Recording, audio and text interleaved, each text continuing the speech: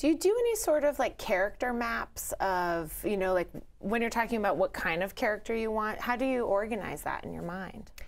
Well, I like to write a, a biography of a character. Oh, very cool. Yeah, just a short one. It never makes it into the books, but it tells me what happened to that character before the story begins. Like what things have happened in their life to affect the way they make choices now. Yeah. Yeah. So